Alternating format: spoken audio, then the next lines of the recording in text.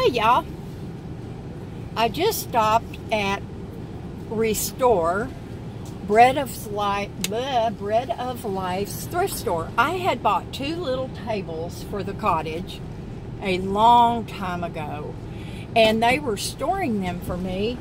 So I came over to get them, and two kind gentlemen from Wienerschnitzel put the tables in my van. Can I can I put you on? Okay.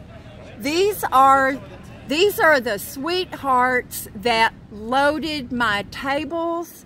And look, Wienerschnitzel is out here in full force. And pull up next to the crew there and get them on. They'll be happy to wave. Oh, good. Oh, good. I'm going to drive over there and hopefully not hit anybody. All right. Yay. You guys are on my YouTube channel.